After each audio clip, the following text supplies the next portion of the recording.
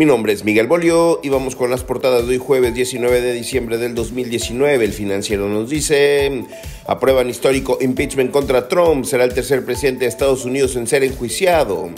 El juicio pasa al Senado, que actualmente está controlado por los republicanos luego de que la Cámara de Representantes aprobó las acusaciones por abuso de poder y obstrucción del Congreso contra Trump.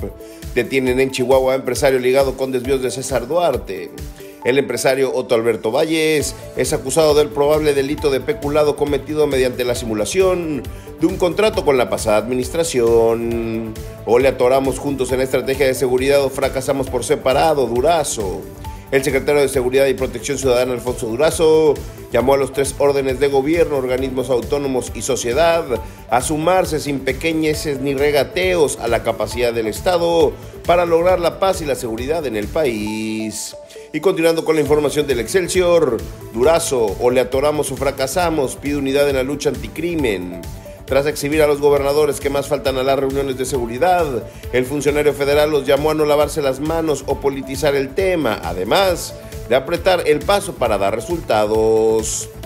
Alza salarial no será efecto faro, aseguran en el Instituto Mexicano de Contadores Públicos.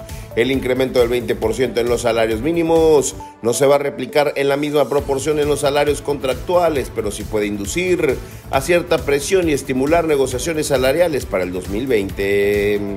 Justicia de Bolivia ordena detención de Evo Morales. La Fiscalía Boliviana emite una orden de aprehensión contra el expresidente Evo Morales por los supuestos delitos de sedición y terrorismo. Y para finalizar con la información, la jornada nos trae hoy jueves, aprueba Cámara de Representantes juicio político contra Trump.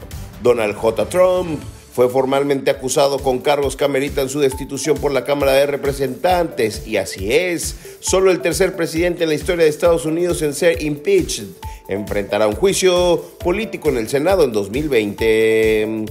Agradece Evo Morales apoyo y solidaridad de AMLO.